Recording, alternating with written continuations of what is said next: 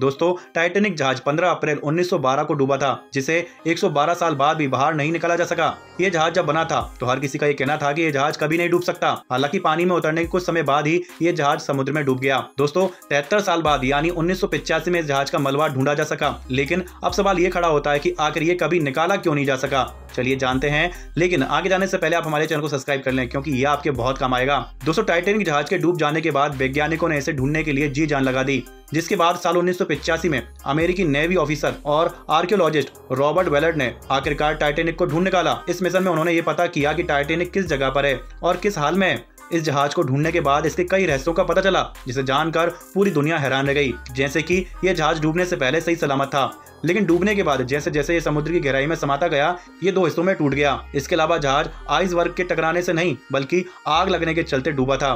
फिर जब जहाज़ का मलबा इतने सालों बाद मिला तो वैज्ञानिकों ने पाया कि इसमें मौजूद कई सामान आज भी वैसा का वैसा ही है। दोस्तों, अब सवाल ये भी है कि इस जहाज़ को अब तक निकाला क्यों नहीं जा सका? चलिए जानते हैं। दोस्तों टाइटेनिक के बारे में तमाम जानकारियाँ होने के बाद भी उसे कभी बाहर नहीं निकाला जा सका।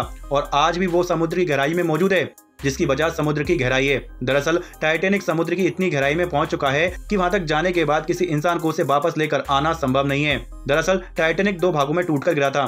ऐसे में उसे अलग अलग बाहर निकाल पाना संभव नहीं है। वैज्ञानिक भी आज तक इतनी हाईटेक समरी नहीं बना पाए हैं कि वो इतने वजनदार जहाज़ को बाहर निकाल सकें। वहीं दूसरा कारण पानी का दबाव है, जिसने इस जहाज़ के वज़न को और भी ज़्यादा बढ़ा दिया है कि उसे बाहर निकाल पाना संभव नहीं हो सकता। दोस्तों, ऐसा नहीं है कि वैज्ञानिकों ने इस जहाज़ को बाहर निकालने की कोशिश ना की हो। वैज्ञानिकों ने कई बार कोशिश की, लेकिन हर कोशिश नाकाम साबित हुई। दोस्तों, वैज्ञानिकों ने इस जहाज़ को बाहर निकालने के लिए कई तरह के आइडिया सोचे, जैसे बड़ी संख्या में पिंग पोंग बॉल को जहाज़ के अंदर छोड़ना।